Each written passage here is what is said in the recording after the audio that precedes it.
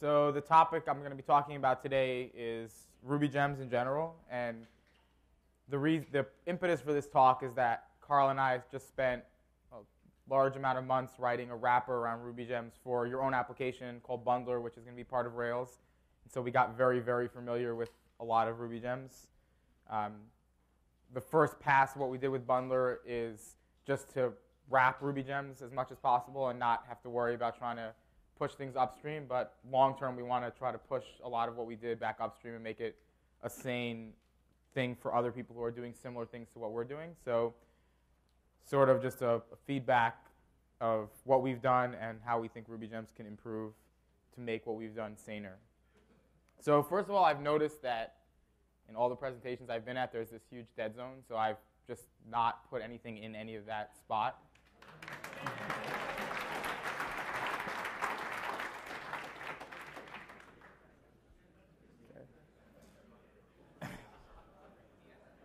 Yeah. I don't know how feasible that is for people, but if but it seems like a good idea if you, people can still tweak their presentations. Um, so obviously, Ru- Ruby Gems was released in March 2004. I think there's more history before that that I'm not aware of, but the public history of Ruby Gems says that it started in March 2004. It started with version 0.2, so I think there's a good chance that something happened before that, but I just wasn't around to see it. Um, is good. Uh, despite, I'm going to enumerate a list of problems about Ruby Gems. Ruby Gems is actually really good. It's maybe the best packaging system for a language that exists. Uh, it's certainly up there. And it should not be, there are people who are attempting to say, like, we should have something entirely different conceptually, and I don't believe that. Uh, I think that Ruby Gems right now is a pretty good conceptual fit for what we're trying to do with Ruby Gems. But there are some specific problems that are not related to the concept of Ruby Gems, but are more related to implementation or specific details that I'm going to talk about. Um, Ruby Gems, like I said, worked well for a long time. And I think we have to look at the bunch of years that we've successfully been able to grow the Ruby community with Ruby Gems as evidence that we, starting from scratch is silly if somebody would want to do that. Um, and that there's a lot of, this is something I've learned from Rails, there's a lot of embedded knowledge in these projects that have been around for a long time that look disgusting and gnarly inside internally that is very hard to reproduce again without going through the pain again. So Merb did this, right? Merb essentially tried to reproduce a lot of what was in Rails, and what we ended up doing was relearning all the lessons that Rails learned because we didn't have the knowledge embedded in the code. So there's a lot of value in looking at code that already exists, and even though it's not the best code in the world, it still has information in it that's hard. Like, does this work on Windows, and how? Right? Like that's something that if someone started from scratch, they probably would just fail to do until the Windows people bug them for another couple of years. So that's sort of that's sort of the introduction. Is I think Ruby Gems right now has a lot of information in it. It works really well conceptually, and it's a, a good starting point for the future. There's a bunch of problems that exist in Ruby Gems. This is my least favorite of the problems.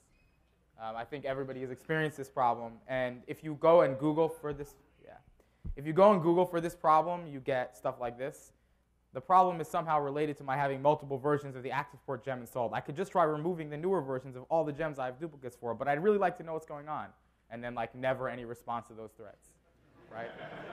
because it's conceptually complicated. It's, it's uh, something that you, once you understand how Ruby Gems works, it's perfectly reasonable what's going on, but it's conceptually complex and it essentially is resulting from people having a lot of gems installed in their system that are not related to their environment, the, the application. So there's gems in the system that are conflicting. Uh, here's another example. Somebody reported on a bug tracker that they had can't activate RSpec, already activate RSpec 1.2, and then the result of that was state change from due to resolve, can't reproduce this. because it's a problem that's related to somebody's system, right? So this, this was actually, this problem was the impetus to doing Bundler to begin with, uh, and actually the precursor to Bundler, which is part of MERB, which is just that there is system state that exists in people's Ruby gems that is messing with other dependencies in ways that are extremely hard to understand, and certainly the masses of people using Ruby have incredibly hard time figuring it out. And people who are writing gems that have dependencies that are generating these problems almost never can figure out what's going on. So that's the biggest problem, I think, in Ruby gems right now, is just this usability problem to do with dependencies. And a second related problem is just the usage of system gems in general for applications, right? So you might have a dependency in your application for launchy 0.3.3 and it requires configuration bigger or equal to 0.0.5. Um, so I might have launchy 1.1.0 on my system, and so I'm developing my app and, uh, sorry, configuration. I'm developing my app all the time. Everything is great. And then I go and give it to you, who happens to have an old version of a configuration on your system, and I was depending on some newer feature in my code, and all of a sudden everything breaks. And again, in a way that's not clear to you what just happened, right? Because you don't actually know anything about configuration. You just installed Launchy, and when you did gem install Launchy on your system, it said, oh, you already have a perfectly valid version of configuration, or uh, there could be any number of reasons why you may end up with 0.0.5 in your system, and then weird things happen. And that's, that's sort of the symptom, is weird things happen. You can never figure out what the weird things are unless you actually know the problem. And so there's this chicken and egg thing of like, how do you figure out what the problem is? What's generating these weird problems? Another related issue is if someone releases a, a gem between the time you do a test and you actually deploy. So let's say I'm using a version of Nokogiri, uh, and I say I want no, my application says I want Nokogiri bigger equal to, or just Nokogiri. So I have in my manifest somewhere that tells the deployment server to install Nokogiri. And then in between the time I tested and the time I deployed, they released a new version which broke something. So even though I tested, I ran my test, my CI said it's good, I put it on staging, they tested it, everything's great. When I actually go to deploy, the way a lot of people do deploys is that they just reinstall the gems on the remote system. And now they've updated something that they didn't mean to. Now, what people usually say when someone brings up that issue is just hard code Nokogiri. And that actually works for Nokogiri. But it doesn't work well if something depends on something else because people are not usually in the habit of hard coding the dependencies if they're not conceptually hard coded. And so this is a, just a general problem of how exactly do you specify your dependencies. And as long, if, as long as people have dependencies of their gems that are soft, then you have this problem of you've tested something, someone has released a new gem, and it broke something, and you don't know why that happened. So this is not a problem with Ruby gems per se. It's a problem with the way people tend to use Ruby gems to deploy. Obvious problem is Ruby Forge being down, which now means GemCutter's down. Um, but that's a problem that happens, right? You have your, your deploy system requires Ruby gems to be up, or I give you a repo, like you check it out of Git, and you go to set it up, and the, you can't get the gems out of Ruby Forge because they're down. So that's another thing. It doesn't happen that often, but when it does, it kind of sucks. Another problem is edge projects, and that just means a project that's not, has not yet released a gem of some kind. And an example of that is right now we have Action ActionPack 3.0.pre, it's on Git, and RackMount is on 0.1.0. Usually, the solution that people give to floating gems is just release pre-release gems, which you can do now. Um, the problem is that it's kind of difficult to make sure that you have synced up pre-release gems if you have more than a few dependencies. So there may be a bunch of gems that are, that are being worked on in together uh, on Edge, and making sure that you always have all the pre-release gems with the right dependencies set up so that someone can always gem install action pack, let's say, is kind of difficult when really all you want to say is all the stuff works on head together, right? So there's a bunch of repos. They may be in Git or Subversion or some other version control system, and they're conceptually being worked on by the same people for the same purpose. And so what you really want to just be able to say is all this stuff works together on the latest release. And you might release some pre-release gems occasionally for people who are not developing to try, but when you're developing, it gets pretty messy. And this actually has been a problem for us in Rails uh, trying to, we have, we've started adding more dependencies and trying to keep the ones that are on Git in sync has produced problems and has been the impetus to some of the solutions that I'm going to talk about. Another related issue is Git dependencies with gem dependencies. So you may have something that hasn't been released yet, but it has a dependency that's a gem dependency. And so you want to make sure that the de general dependency resolution process takes into consideration things that are not gems yet.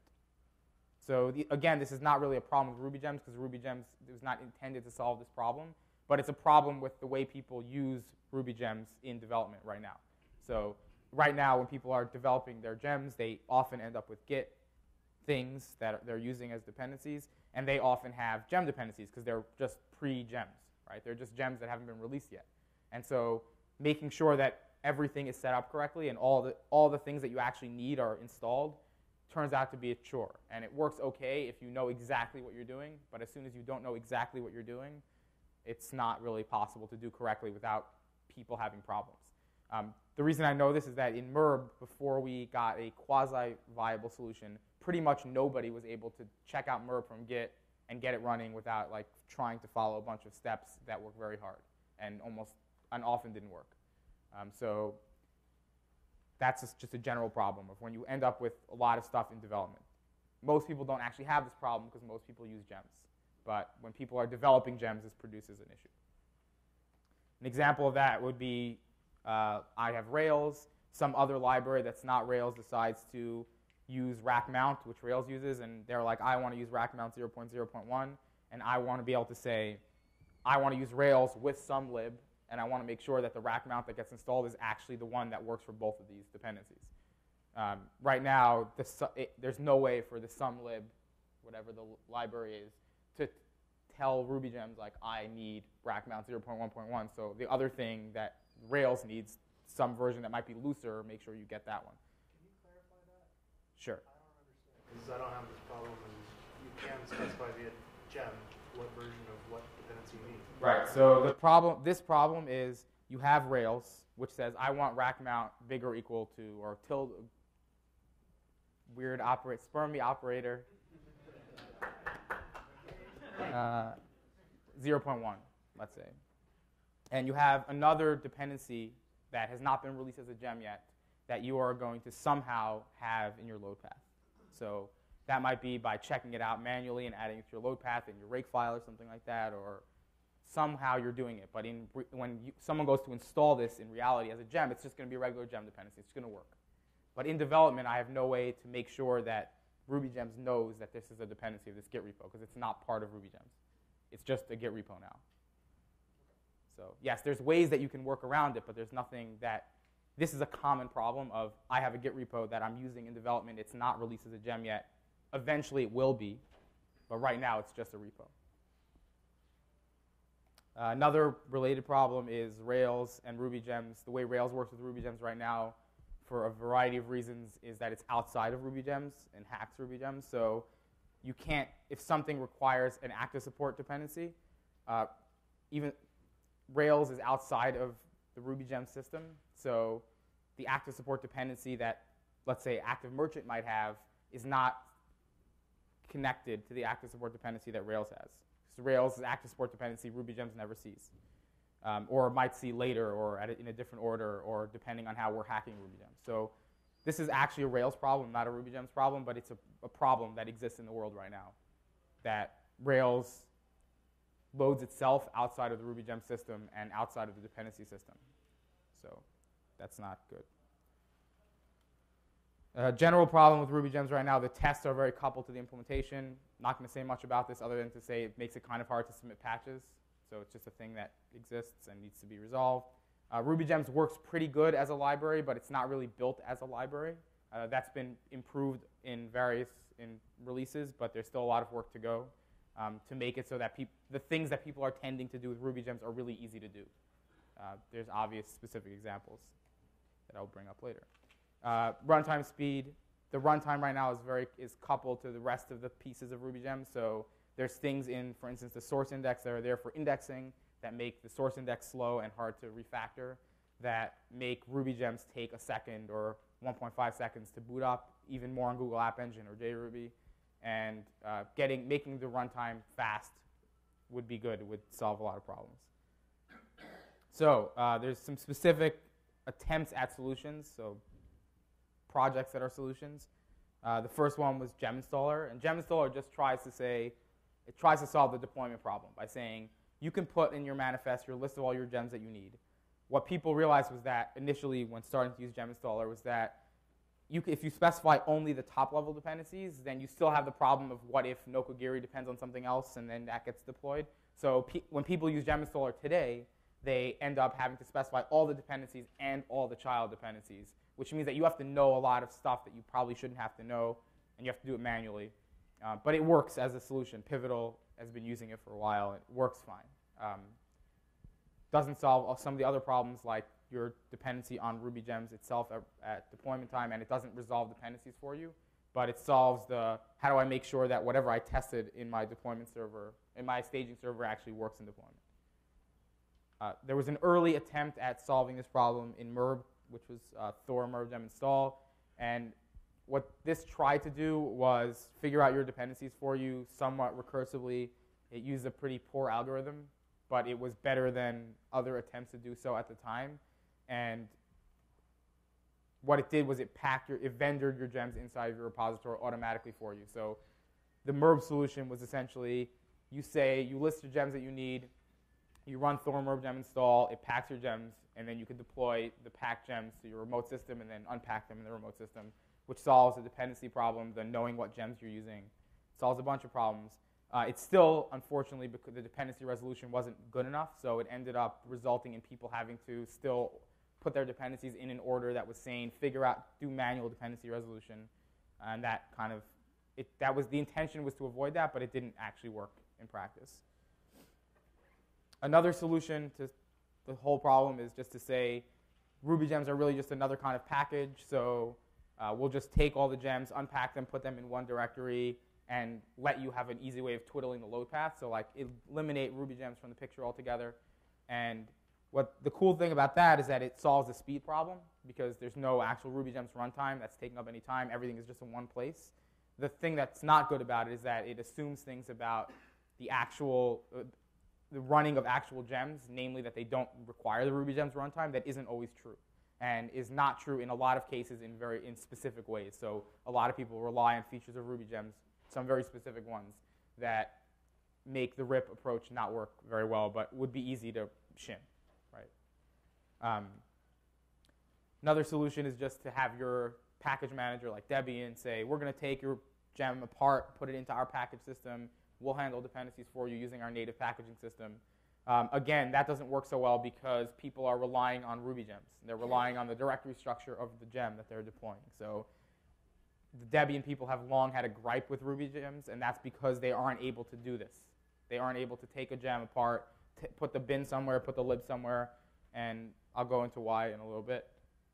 Um, and then the solution that we now have is Bundler, which tries to solve all the problems I outlined.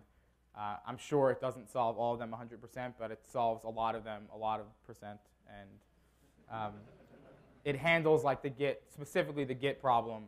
Um, the if you may have a, a, gem that's not released yet problem in a bunch of ways that are that's convenient, architecturally sound.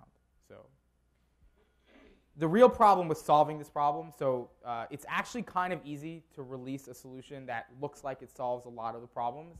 Um, RIP is an example of that. But when you actually start looking at what people are doing in gems, it turns out that there's all these confounding factors that make it very hard to just say, we'll make a simple solution that solves the runtime problem.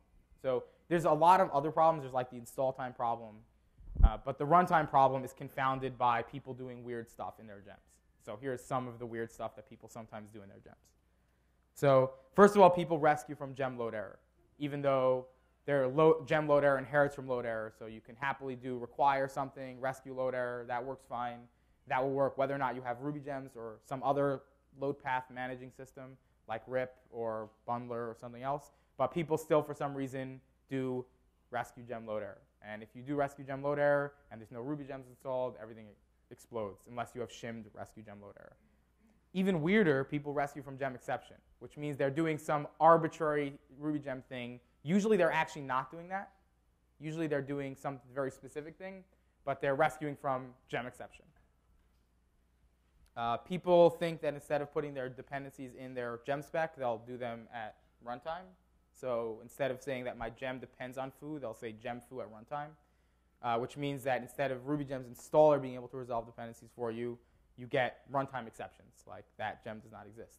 There's one case where it's actually needed, which is there's no support for optional dependencies. So you can't say, I want JSON, I want JSON, I don't need JSON, but if JSON is here, it has to be this version. Um, Rails has this problem. This results in us having to do this, and we can shim this, this system. But a lot of people who use gem just use it in lieu of actually making it and putting it in the gem spec. And they do this because they're not haven't always released the gem spec and they're doing development stuff sometimes. But this is essentially something that asks the Ruby Gems runtime for information that not all runtimes will have, right? So RIP and Debian don't have this information, so you, these gems just don't work on those environments at all. Uh, this is a more common thing that people want is gem.ruby, like what's the version of, what's the command that will execute the same Ruby that I'm running. This is actually valid and probably should be something that Ruby gives you. There should be like ruby.self or something. Um, that tells you what the command is. And it's actually pretty easy to shim because it's just like a few things in rbconfig that you have to concat to get the thing. But most people don't want to go dig in to figure out what it is, so they just use gem.ruby. I do. It's valid. Um, kind of sucks. Uh, gem.dir is gives you like the directory of the gem. I think Sinatra uses that. Uh, Sinatra, this was came up recently after we shimmed a lot of these other things. There's a few people that use gem.dir and gem.path. It's like, well, I don't really know why you're using that, but uh, people do. Uh, gem.loaded specs, like I want to know if this gem is already loaded for some reason, and gem.source index to be able to search for gems. So all these things are not things that you really want conceptually need to be doing inside of your application most of the time. There are a few cases for a few of these that are valid, but the vast majority of these are just people using RubyGems features for no obvious reason. And the thing to realize about your package is that before there was RubyGems, there was Ruby, and you were able to take your package and add a load path, and it would work. And RubyGems is basically just automating that process. So you can package it up, and RubyGems will handle that for you. But there's no reason why, if you reverted back to the old system of just twiddling the load path yourself, why your package should not work. Your package should still work, and if it doesn't work, you're doing something wrong. And the reason why this is taking on some additional urgency is just that there are people now who are trying to do this. There's Debian who's been trying to do it forever, and everybody just laughed at them. But now there's, uh, or grumbled at them. But now there's RIP, which is trying to do it for real. Um, and there's uh, Bundler would like to be able to do some, some more intelligent things that we can't do because people are doing strange things in their, in their gems. Even worse strange things are this idiom, which is go get all my gems inside of all my Ruby files inside of my current directory, which works fine if you could assume that you control your current directory. But uh, there are package managers that want to take all the gem, all the gems and put them in one load path. RIP is an example of that. And if you're just requiring all the Ruby files, then you can't, your Ruby can't live, your Ruby files can't live next to somebody else's. Uh, people do this a lot in their binaries. They'll like go up one level and find lib and then require your library. Um, this means that you can't take the binaries and put them somewhere else from the, from the lib path.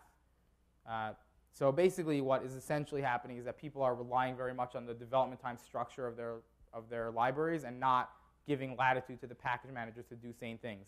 And it would be one thing if there was a really good reason for this, but in practice, you can rely on whatever package manager you're using, if it's RIP or RubyGems or Debian's package manager, you can rely on it to put the things in the load path that belong in the load path.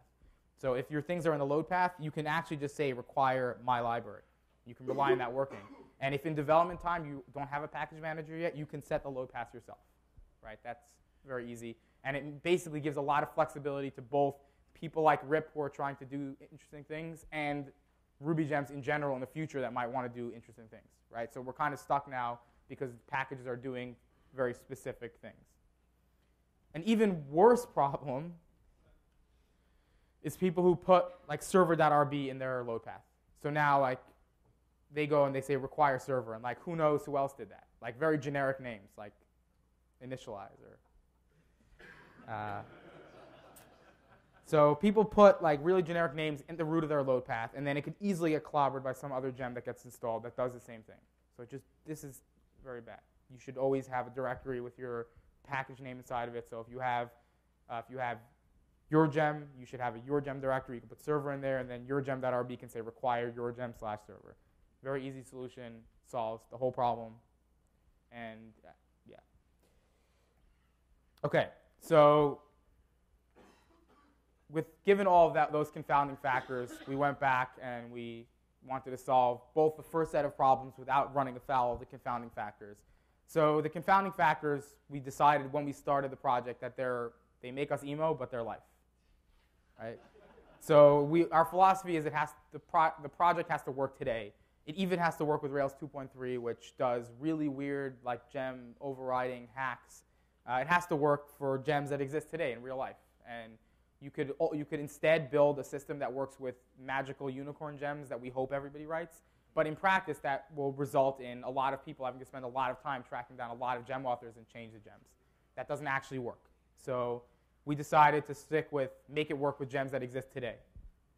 So things that we actually did, first of all, automatic dependency resolution. That just means that instead of resolving your dependencies one at a time as you specify them or as you encounter them in the installation process, you tell Ruby Gems or Bundler the list of all the gems you actually need, and we will do it at once, get you all the dependencies that you need. And that completely solves the unable to activate this, already activated that problem, because that happens because you're doing them one at a time. If you do it all at once, you can't have that problem. Um, you either have a, it works or you have a conflict. Like there, are these two things actually conflict with each other. And here's an example of like how it looks in your, there's a gem file, and you say, here's the gems, so here's the top level gems. This is in GemCutter, has these requirements in top level. And then when you actually run gem bundle, you can see that there's like net SCP requires net SSH, rack maintenance required rack 1.0.1, so it went and downloaded the additional gems. And there's more that says will say installing those gems. But the idea here is that you just say what gems you need at the top level, and we do a somewhat sophisticated attempt to figure out what the resolution is. For Git, we basically just said uh, Git, you can treat Git as, if Git has a Ruby gem in it, you can treat it as an unreleased Ruby gem. So as far as the gem resolver is concerned, it's exactly the same as a gem. And so uh, you can do, this is part of Rails gem spec, you can say gem arel 0.2.pre, and then you can point it at a Git repository.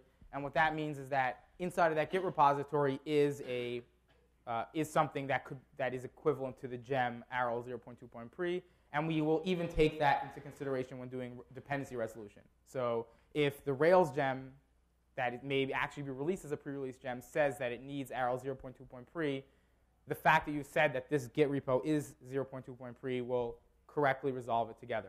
Um, if, you, if the Git repo actually has a gem spec in its root, then you can leave off the, the version, you can leave off 0.2.3, and we'll pull that out of the gem spec. So you can specify everything explicitly, or we'll just pull it for you uh, automatically. We also support directories of, of uh, gems. And basically, the way that works is that you, you can say Rails is in the Railties path. And then uh, what Rails will do, what the bundler will do is it will check to see if there's any other gem specs anywhere inside of that path.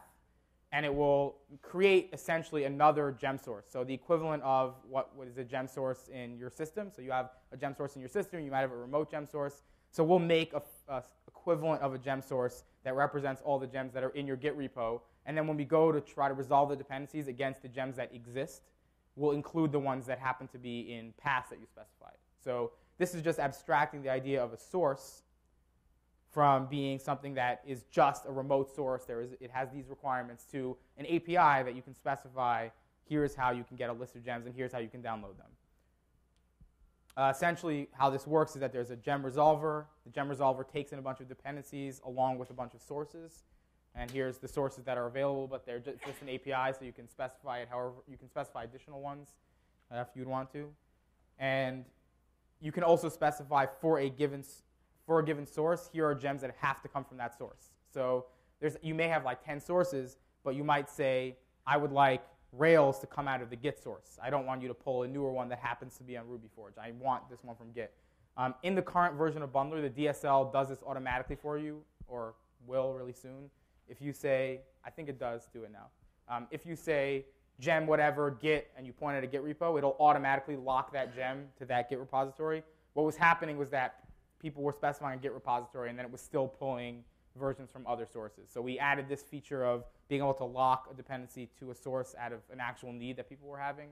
But it's, it would be cool to be able to do it in general. Like, yes, sir? Can you lock to a tag or a specific SHA? Yeah, so the Git supports um, pretty much any ref, so tag, branch, or, or SHA, yeah. Um, Ruby Gem, the, the bundler is idempotent, so if you go halfway and then do the other half of the way on this deployment server, does it still work? Yes, sir. This is working 1.8 and 1.9. Works in 1.8 and 1.9 and JRuby, except the JRuby cannot compile gems, so the parts of bundler that handle compiling native gems obviously don't work on JRuby, but it works on all Rubies that we know of. Yes, sir. Um, when you say idempotent, I have to disagree because there could be executable Ruby code in the gem file that's definitely not idempotent. Can we get a bundler format that is pure YAML or pure text that can be parsed to create the same thing so I can bundle something app without loading arbitrary Ruby code? Yeah, so we should talk about it. I know you guys are working on that. But um, assuming that you don't have arbitrary Ruby code in your gem file that does random stuff, assuming that you're using the DSL in the gem file, um, I don't know. I don't do crazy things. But I, if you're like a hosting provider, then it matters that people are not putting arbitrary executable code in there because it could be an exploit or something. So that's understandable. Um, when I say idempotent, what I just mean is that if you run through the entire bundle process and then you git ignore or remove the, the expand, so what the bundler does is it goes and it gets, it resolves your dependencies, downloads all the gems, and then expands them, including installing native dependencies. Uh, what happens if you delete the expanded versions is that if you run gem bundler again, it doesn't go and re-download all the gems again because it notices that it has them in the cache and it just re-expands them. So what that means is that you could ignore the expanded versions in your repo and push the entire repository, run gem bundle on the remote system, and not have to worry about remote dependencies or spending time uh, re-resolving because it'll notice that everything already still works. There's some other cool features. Uh, you can disable Ruby gems. And what we've done here is we've shimmed certain really common things like gem load error. So if you rescue gem load error, we've shimmed that. And we've shimmed the gem, the top level gem method. Um, but there are still tons of cases, like Rails 2.3 cannot run in disable Ruby gems mode because it still does stuff to monkey patch Ruby gems. So this is something where we, it's like, we, this would be a good mode if everybody could run in this mode, but we know that today a lot of applications won't be able to run in it, so we're making it an optional thing where you can say this, and hopefully long term it will be something that most people will be able to do most of the time. Uh, more likely, something that you would want to do is disable system gems, which just says when you require something, don't include the system gems. Only include the gems that you've specified and bundled in your application. And this just means that you can't get into a situation where I'm on my machine, everything seems to work, but when I actually give it to you, it doesn't work because there's a gem that you have installed that I've installed in my system that you haven't installed in yours. Uh, Google App Engine is actually already starting to ship with disable Ruby Gems mode. So they've taken the bundler, they bundle, they take all the gems that are expanded, put it in a jar, and then make it available to your application. And they're running without any Ruby gems at all. So that works fine as long as there's gems that don't do strange things. Um, and they're the ones that reported the Sinatra using gem.dir or gem.path to us. Okay, uh, the architecture is really simple, adds some cool stuff. Um, there's basically four big pieces. There's the CLI, which is what happens when you say gem bundle. The environment has sources and dependencies and can install cache or list the list of dependencies. That's basic. The environment is basically just the um, it's the equivalent of the manifest, so it's it's the object version of the gem file. Uh, there's a source, which is just it has gems, and you can download a spec, and that's any remote system. You can have a remote system or a local directory or anything that supports that API of having a gems method and downloading specs. Um, and you, there's also a repository, which represents the local place where it's cached. And so you can have a repository that's your system gems or a repository that's in your local, um, in your application itself, and that has a path and gems, and it can install a list of dependencies for a list of sources. Obviously, the resolver can resolve, so it doesn't really do anything other than take a list of things to resolve and give you back a list of things that you should download. So the nice thing about this is that it already works today. There are projects already using it today, uh, including Rails itself. Their Gemcutter uses the bundler on Rails 2.3 today, and there are other applications that are using the bundler on Rails 2.3 today. Um, and in Rails 3.0, it will be built in. I know I'm abusing some of the space over here. Um, in Rails 3.0, it'll come in, it'll come built in, so you'll be able to do script bundle, and it will do all this for you. Um, and that we, what we've been able to do is eliminate all the monkey patching of we're doing with Ruby gems and all the work we're trying to do to like re-implement features of Ruby gems by just using essentially load path twiddling. Uh, the nice thing about the bundler is that all it really does in the end is create a file for you that sets up the load paths and optionally will require Ruby gems. So depending on whether you've enabled or disabled Ruby gems, it will require Ruby gems, but it puts all the information about the path twiddling in a file that will always work. So, with all that said, I just want to talk a little bit about what I would like to see in a future version of Ruby Gems based on what we've done.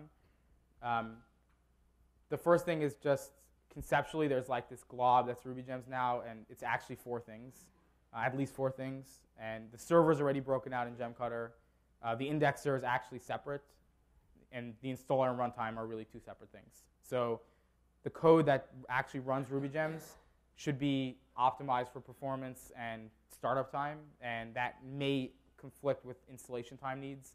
And so the code that actually goes and installs gems turns out to be actually separate. And we've proved that because Bundler actually does that. Bundler installs completely separate from runtime, and it works. And the architecture of Ruby gems right now can accommodate that, not without much work. But it would just be nice to make it explicit. Like this part of the code is the part that installs. Here's the runtime. Anything that's in the, like the source index object there's the source index object that's used for runtime, and there's a source index object that's used for indexing or installing.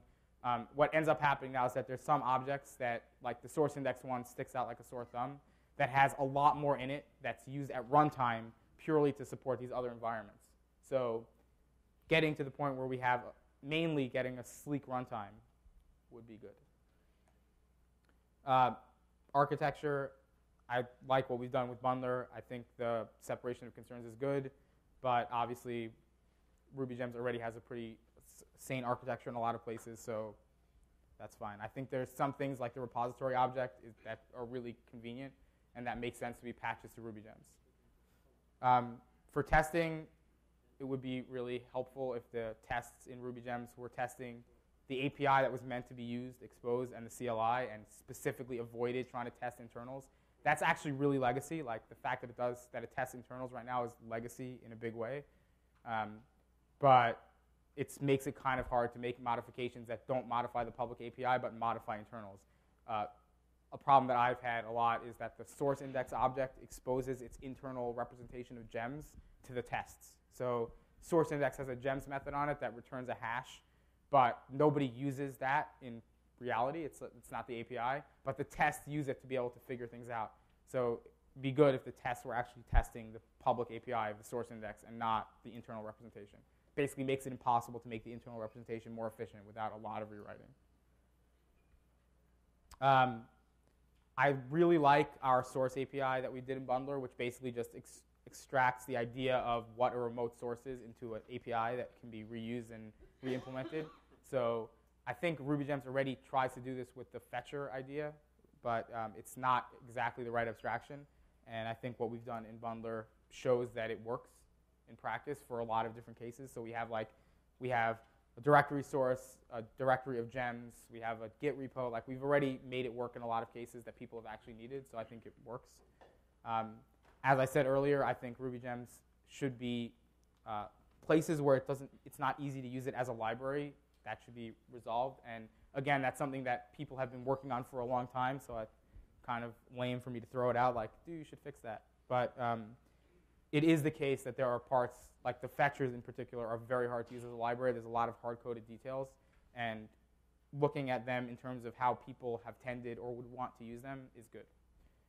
Uh, I think this is a no-brainer. I've spoken to Eric about this a lot, actually, over as I've been working on the problem and have not felt comfortable with the solution to, enough to get it back into Ruby Gems. But Ruby Gems should have dependency resolution built into it. It should be able to take a list of gems and a list of sources and give you back a list of the dependencies, a list of the actual specifications that you should download. And that should be built into how Ruby Gems works. There's already an API for that called GemLock in Ruby Gems that is just for giving it a list of things and it will give you back basically a list of gem commands you can put in your application. Uh, that might be a good place for it. Um, but that should definitely be part of Ruby Gems. And runtimes for runtime performance, easy to actually pretty easy to fix. There's a few possible solutions. One of them is just go the disable Ruby Gems approach, like try to find a way to make it so you don't need Ruby Gems at runtime at all. Uh, there's the RIP approach of trying to collapse everything into one directory structure, which requires community help. And then there's just less invasive approaches of just improving the on-disk format and the internal representation of gems. Uh, so that the source index is not very slow. Right now, the source index, if you say I would like merb greater equal to 1.0.1, it has to loop through every single key in the entire source index to check to see, because if the key is merb dash 1.0.1. So it has to go through each key and check to see if it matches merb. and see if it's the right thing. Um, or it might now go through all the values and check to see if they have the right name. But the point is that it has to go through every single entry. There's no, it would make more sense to have top level keys, which are the names. So if you want MERB grade equal to 1.0, it can index in, get the list of things that are MERB, and then have a smaller space to search in. Uh, what this also means in practice now is that you have to load every single gem into memory so that you can search it. And that's the cause of it taking a second and a half to boot applications that use Ruby gems. Virtual environments are a useful thing. Uh, RIP did that with RIP and virtual env. We kind like Bundler handles that by giving you a local virtual environment. Being able to say like I would like to use my name thing. This is already used in RIP. RVM has something called name gem bundles. Bundler does it. It seems to be an obvious need. Getting into Ruby gems would be good. Um, being able to specify extra gem spec properties. Um, this is kind of a minor thing. That's one way to do it. Just say like you can specify whatever you want. This is a more likely scenario. Just say like here I can put in some extra properties so we can so other random people who are using Ruby gems can check to see if some property that they're agreed on is there, or you might be able to provide more details. But just some extra space to put things in. Um, the idea of per application requirements in general, like my application actually has these dependencies, as opposed to it just being there's a big system gems that has everything in it. Uh, bundler handles that by bundling it, but some notion, if it's just something like the gem file or something uh, else that lets you say this application has these requirements and could hook into the rest of the system, the dependency resolver, the runtime to actually do things usefully for your application. Um, the API that we've built for, that we've done right now in Bundler, the three pieces of it, I see the dependencies piece of it being a thing that is okay to have as a separate piece, like a gem file and a DSL that could be managed by something like Bundler. But the resolver and the repository concept, I would like to see in Ruby gems. So the idea of, like I said, dependency resolution and also that there's an object that represents the actual location on disk where your gems are stored, that you can ask it for all the gems, you can ask it its location, you can ask it to store a gem in there, um, as opposed to it being a raw API would be cool. Uh, optional dependencies, I want to explain what this actually means and what people actually need optional dependencies for. You want to be able to say this, I can use JSON, but I only want greater or equal to 1.4. So what ends up happening is that people don't want to specify JSON as a dependency because it's not, but there's some code in their application that allows you to opt into JSON behavior, but it only works with some version. And the only good solution for this right now is to use gem in your application, to say gem JSON greater or equal to 1.4, which means that you can't actually use other package managers that don't have gem. So being able to say this explicitly and have it be something that downloads, that is, is there during resolution time, would be cool. Yes? Why can't, I probably, probably the point here, but why can't you just do a rescue load error JSON thing in the part that needs JSON? Because you have no way of knowing what version, right? So if you just say require JSON, you don't know that it's the right version. But that, if you didn't care, that would be fine. That would so optional dependencies where it's just like I may need JSON. There's good solutions for it right now. Right. Then you're if you do that, then you're relying on the Ruby gems runtime, which is not ideal. There's a bunch of people that would like to not. And basically, like what I would argue is that gems should be things that work just fine without Ruby gems. They're just Ruby packages, and the Ruby gems runtime makes it easier to manage the load paths. If you start relying on Ruby gems features at runtime, then you can't do something else. Yes. Uh, Google App Engine is an example of somewhere where they actually can't use Ruby gems. It's way too slow in their environment. So. Uh, virtual dependencies is also controversial. It's essentially being able to say, I require my app requires JSON, this app provides JSON without it being a name. Um, an example of this might be that MERB admin says I require MERB core, and then like some other thing says I provide that, and so you could end up with being able to. the, obvious case is namespaces on GitHub, but there could be other cases where JSON pure might want to say I provide the JSON API.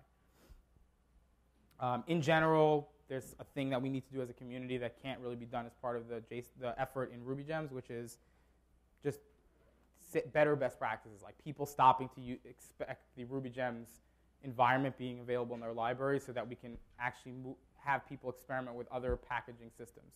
Uh, I know, obviously, Ruby Gems as a packaging system is here to stay, and it's the way that most people will continue to develop things in the future and will be the most robust solution.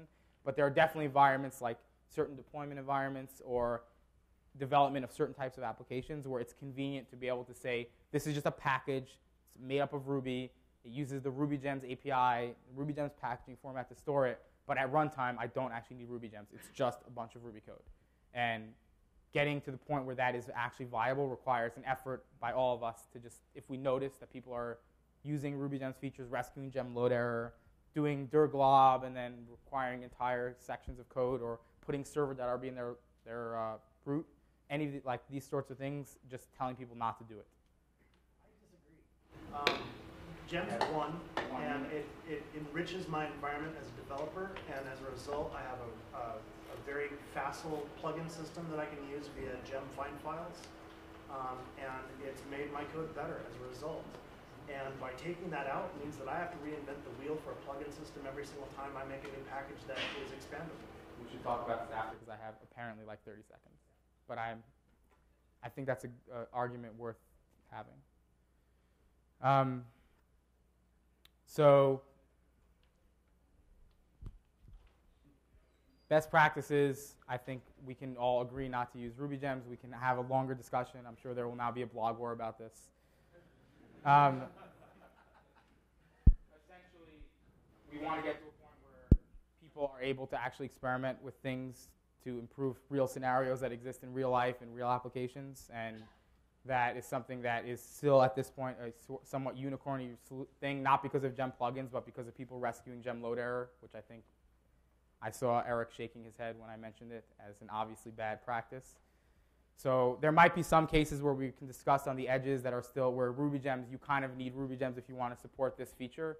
Uh, but I think for the vast majority of cases, people do not need Ruby gems and should, and it would be a better world if we could, if package managers that were not Ruby gems, not because they want you to not use Ruby gems on your system, but because there are specific use cases for doing something different, we're able to treat Ruby pack gems as packages of Ruby code. Thank you very much. I don't actually have time for questions, but.